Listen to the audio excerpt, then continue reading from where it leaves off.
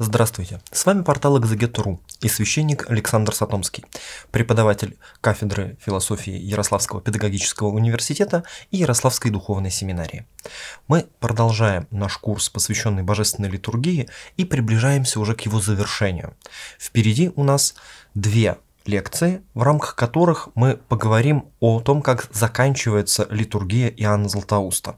Однако мы имеем надежду встретиться с вами еще в двух отдельных и самостоятельных лекциях, посвященных анафоре Василия Великого и литургии прежде священных даров.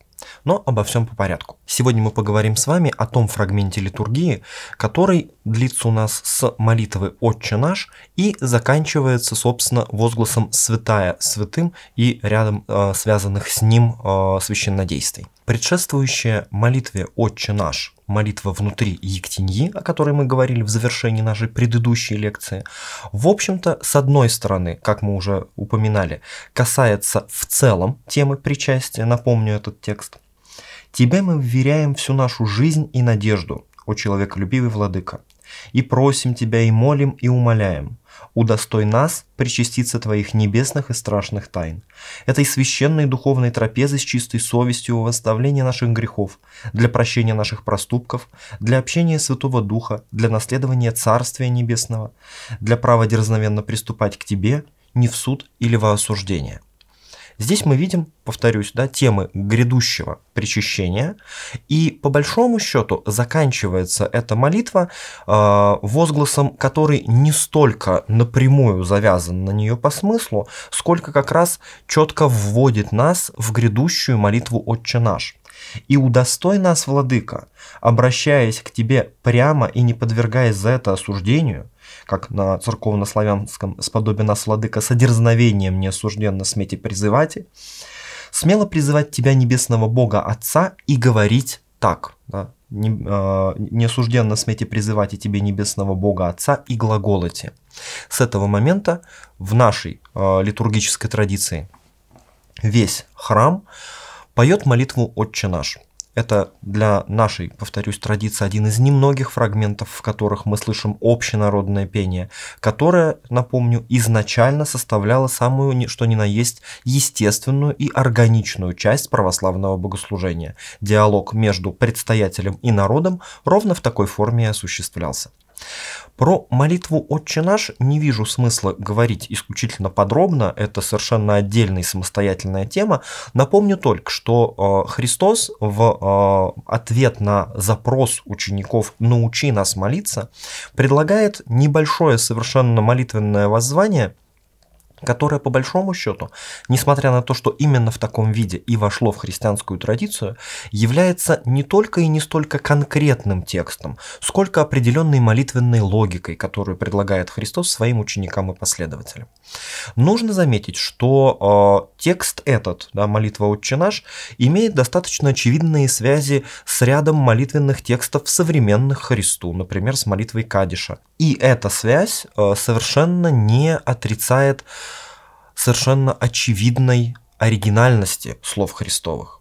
Потому что здесь про Бога, например, говорится не как про Бога отцов наших, как традиционно э, определяют его, э, например, тексты Израиля. Здесь говорится про него как про Отца нашего, что совершенно иначе расставляет акценты в отношениях между общиной верующих и Богом. Более того, э, на большой вот этот объем э, смыслов в конкретно литургическом ключе нас, конечно, интересуют темы, связанные с хлебом насущным и, собственно, с прощением согрешений. Э, то, чего мы и ищем с вами в рамках таинства причастия. Посмотрим на эти темы более подробно. «Хлеб наш насущный дашь нам днесь», говорим мы в молитве «Отче наш». Мы привыкли видеть в этом выражении указание на хлеб ежедневный, да, то есть на ту очевидную пищу, о которой мы просим Бога. Эта традиция совершенно святоотеческая. Мы видим такое толкование и у святителя Иоанна, и у святителя Григория, и у многих других отцов. И отсюда да, совершенно кажется понятным, например, почему мы молитву «Отче наш» э, да, используем перед тем, когда да, благословляем трапезу. Однако, в христианской традиции есть и несколько иное толкование, исходящее, собственно, из самой структуры слова «насущный». Нужно заметить, что «эпиусиос», слово э, «насущный» по-гречески, э, является неологизмом. Такого слова непосредственно в греческом языке нет. Оно конструируется в рамках христианской традиции. И можно сказать, что на сущный параллельно, да, вот эта приставка эпи, указывает также и над сущный. И таким образом у некоторых церковных авторов мы встречаем мысль, что мы молимся не просто о очевидном хлебе, а, который просим ежедневно, но просим о укрепляющем нас хлебе Слова Божия, о хлебе Евхаристии. Об этом нам говорит, например, один из достаточно ранних церковных авторов, Ориген. Он пишет.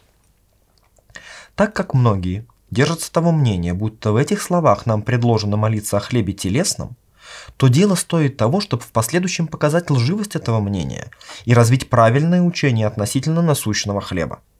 Так как в Писании всякая пища называется хлебом, и так как слово, служащее пищу, разнородно и разнообразно, потому что ведь не все могут быть питаемы твердыми и труднопостигаемыми божественными учениями, то поэтому-то он, то есть Бог, желая предложить более совершенным приличествующую борцам пищу и говорит, «Хлеб же, который я дам, есть плоть моя, которую я отдам за жизнь мира».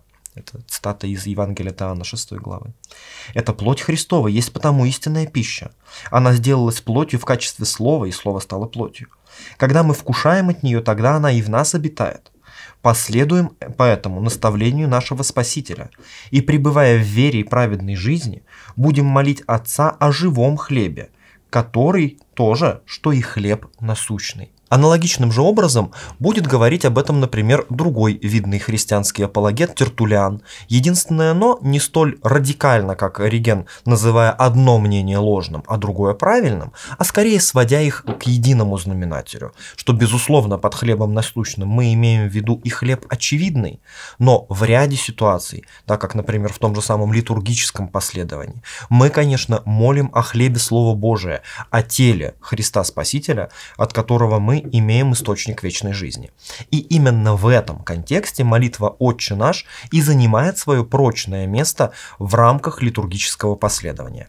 Уже по поучениям тайноводственным святителя Кирилла Иерусалимского мы можем явно заметить, что по четвертому, например, веку «Отче наш» звучит вот в этом месте литургии, э, предваряя собой собственно причастие верных то есть, собственно, получение от того самого надсущного хлеба. Относительно же прощения грехов и остави нам долги наши, якоже и мы оставляем должником нашим.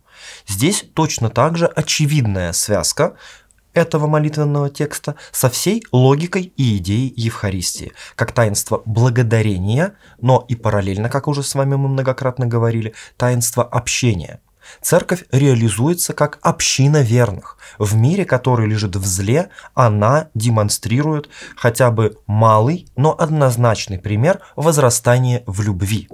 В любви чрезвычайно проблемно возрастать, имея друг к другу определенного рода претензии, видя друг в друге какие-то грехи и несовершенства и держа против своего ближнего собственное сердце. Поэтому мы очевидно и многократно молимся в рамках литургического последования о прощении согрешений, в том числе и не только в рамках наших вертикальных отношений между нами и Богом, но и в рамках горизонтальных, чтобы никто ни на кого не имел чего бы то ни было в сердце. И я напомню, а, в рамках, ну скажем так, такого вот а, внешнего действия, которое символизирует собою сердечную открытость.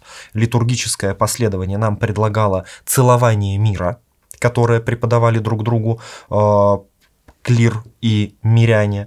Собственно, на данном этапе оно осталось только принадлежностью клира, но было всегдашней частью э, литургического последования. И еще раз возвращает нас к этой теме, собственно, именно данный фрагмент молитвы «Отче наш».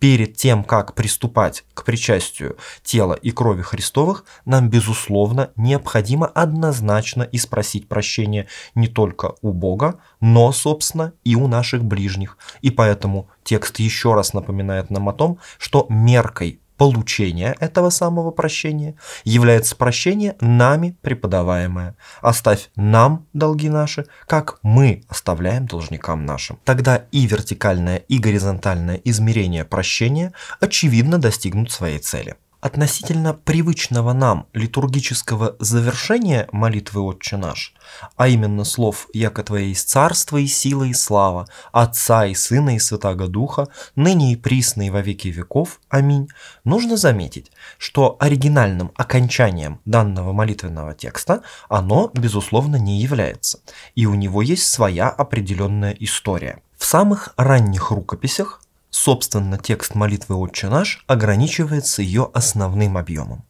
Однако, впоследствии мы в самой ранней христианской традиции, например, в тексте Дидахе, который мы датируем вторым веком, и текстах более поздних, наблюдаем, что начинает возникать определенное словословное заключение ко всем произнесенным Христом словам.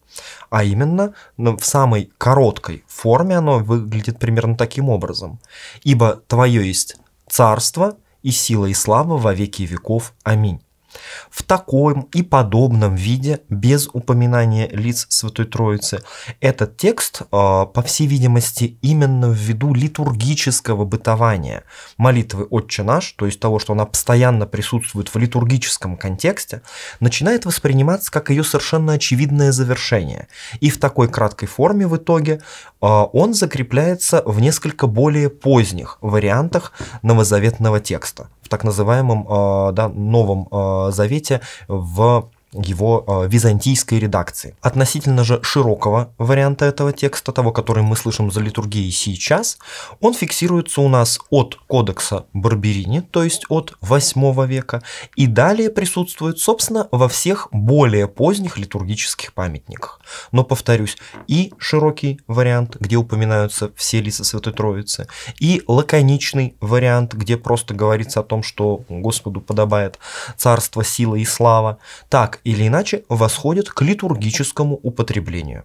Нужно заметить, что тот же самый святитель Иоанн Златоуст краткий вариант уже считает очевидным продолжением этой молитвы, в то время как, например, у святителя Григория мы видим, что э, качестве логического завершения такого молитвенного текста он считает нужным определенного вида словословия, но у него оно может быть совершенно авторским, и он указывает своему читателю на то, что хорошо вот таким образом возблагодарить Бога, но не считает ни один из вариантов вот этого окончательного словословия после «Отче наш» оригинальным текстом молитвы. То есть перед нами определенное развитие этой традиции. Мы видим, как к «Отче наш» как формату, предложенному Христом, церковь добавляет подобного рода словословия с очень раннего этапа, и дальше мы видим, как оно развивается в веках. Далее, все ближе подходя к причастию, священник поворачиваясь к собранию, благословляет его, говоря «мир всем»,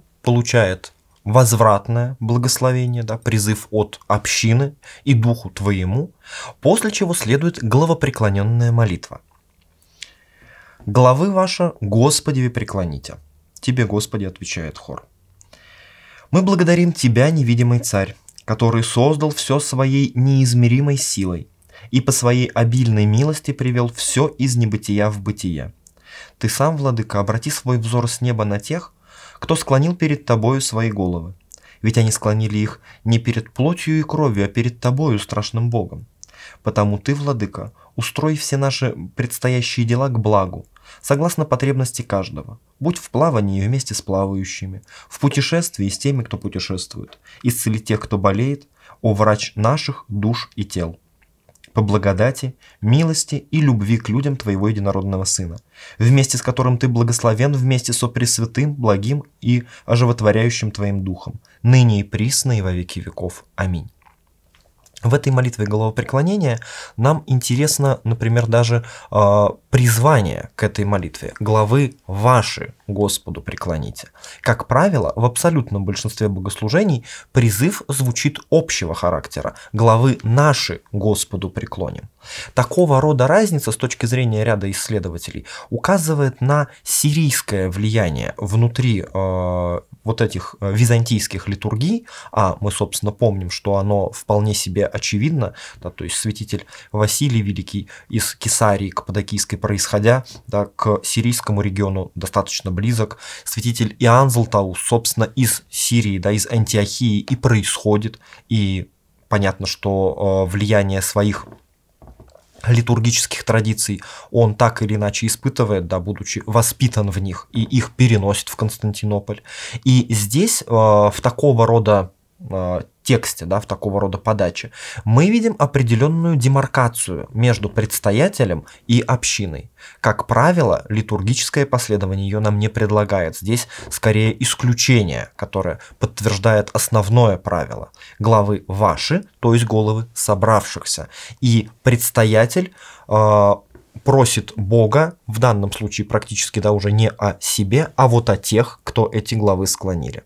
Но нужно заметить, что э, в рамках литургии есть и обратный момент, когда, например, священник, мы помним, в э, молитве перед, э, собственно, великим входом, наоборот, молится только о себе, а не о собравшихся. То есть при всем при том, что литургия, конечно, есть таинство общения, но, как мы видим, здесь есть моменты больше э, молитвы, да, например, самого предстоятеля о себе, пусть и однократно он может себе это позволить. Или, например, вот здесь молитвы только о собравшихся, да, из которой э, практически как кажется, исключается предстоятель, однако если мы посмотрим на сам текст, то все-таки он будет значительно мягче. И несмотря на то, что в призыве звучало «ваши», молится он все-таки обо всех. «Мы благодарим Тебя, невидимый царь», говорит он. То есть сама молитва нам э, такого рода разделения не предлагает. То есть некоторая синкретичность элементов, когда какой-то возглас приходит из одной традиции, какой-то молитвенный текст рождается в рамках другой, дает нам ну, вот такую определенную иногда несогласованность. Что мы видим внутри этого текста?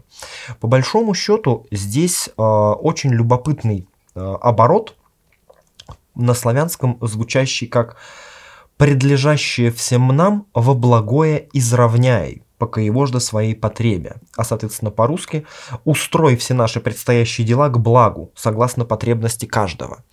Любопытен тем, что, с одной стороны, в прямом своем и очевидном смысле, он говорит нам о достаточно обыденной вещи, и в нем мы просим достаточно очевидного. Мы просим здесь помощи Божьей в рамках дня грядущего или грядущего периода, потому что мы помним, да, что э, древняя церковь, как правило, собирается на Евхаристию ежевоскресно, и, соответственно, вот все то, что будет э, ожидать собравшихся в рамках грядущей недели.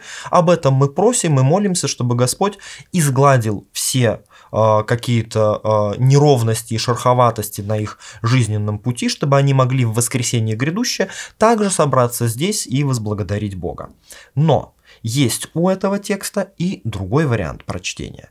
Собственно, предлежащая относительно греческого текста обозначала бы предлежащее перед глазами.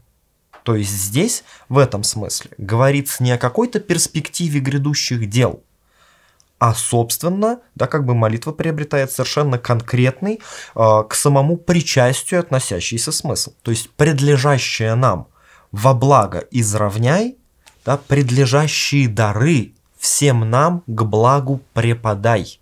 Мы иначе могли бы перевести этот фрагмент. То есть, перед нами да, такая вот двухперспективность. С одной стороны, к э, чему-то предельно общему и очевидно всех нас ожидающему в плане дел недели грядущей, но, во-вторых, и в данном случае на самом деле главных, просьба о том, чтобы предлежащие на престоле дары стали всем нам помощью э, во всякий день нашей жизни. В том числе, кстати, и помощью в том, о чем мы говорим обыденно да, то есть и в делах этой самой недели грядущей. Окончание, возглас этой молитвы указывает нам на то, что все искомое нами, а именно как раз вот эта помощь в предстоящих делах, согласно потребности каждому, чтобы в плавании Господь был вместе с плавающими, в путешествии с путешествующими, а, чтобы помог тем, кто болеет. Все это возможно благодаря благодати, милости и любви к людям Твоего единородного Сына. Хотя литургический текст, как мы с вами многократно говорили, практически весь целиком и полностью во всех традициях обращен к Отцу, но апелляция к Христу как к посреднику, ходатую, первосвященнику нашего исповедания, того, кто, собственно, совершает это последование, она очевидна и регулярна в огромном объеме текстов. Очевидно, она и здесь. Благодаря любви твоего сына мы и можем тебя обо всем об этом просить. Далее, собственно, происходит момент возношения даров. После Э, молитвы глава преклонения священник в нашем нынешнем э, варианте богослужения тайно читает молитву «Внемли, Господи Иисусе Христе Боже наш, из святого своего жилища, из престола славы Твоего Царства, и приди, чтобы осветить нас, Ты, который восседает в вышине вместе с Отцом и одновременно незримо пребывает здесь с нами. И удостой нас того, чтобы Твоя могущественная рука подала нам причаститься от Твоего причистого тела и драгоценной крови, а через нас всем людям.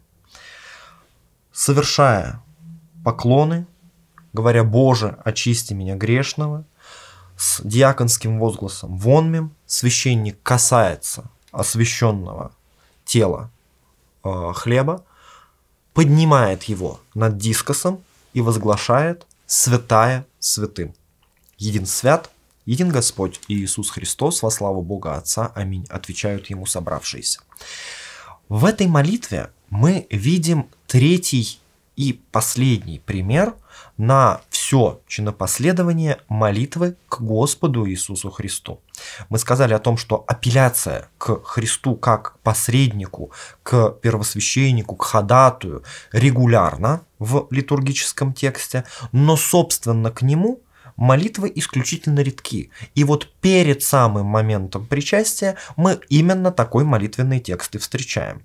Его конкретная история – не вполне нам понятно, по всей видимости, он появляется сначала в чинопоследовании литургии Василия Великого и оттуда этапно переходит в литургию Иоанна Златоуста. Соответственно, происходит он, по всей видимости, из достаточно древнего периода, и в нем мы видим, что, собственно, упоминание Христа как восседающего в вышине вместе с Отцом и одновременно незримо пребывающего здесь с нами, да, и связывает литургию здешнюю с тем самым прославлением Отца Небесного, которое э, от век совершают небесные силы там перед Его престолом. Оно возможно, вот эта связь возможна, именно благодаря посредничеству Христа – который и здесь с нами, и там, на престоле, находится одновременно. Эта одновременность, кроме всего прочего, указывает на всегдашнее проживание, всегдашнее переживание церковью божественности Христа, так как говорит ни о чем ином, как о его вездесущие. Он, будучи Богом, единственно и может, ну, собственно, как вот и вся Святая Троица, в один и тот же момент времени находиться во всяком месте, потому что ни место, ни время для него вообще не категории. Однако же, будучи человеком, параллельно он и присутствует на каждом месте самым очевидным образом. Более того, в этом одна из важных идей Евхаристии. Говоря о причастии непосредственном в нашем следующем выпуске, в нашей следующей лекции, мы поговорим об этом более подробно. Как мы причащаемся Христу э, самым, да, вот уже э, конкретно очевидным способом. Нужно заметить, что в, э, в самом элементе поднятия Агнца ввысь присутствуют две темы. С одной стороны, та уже сама молитва говорит о Христе здесь с нами пребывающим и на престоле Божьим присутствующим. То есть вот это тело Христова, которое мы указываем как бы как возносимое ввысь, возносимое к Отцу.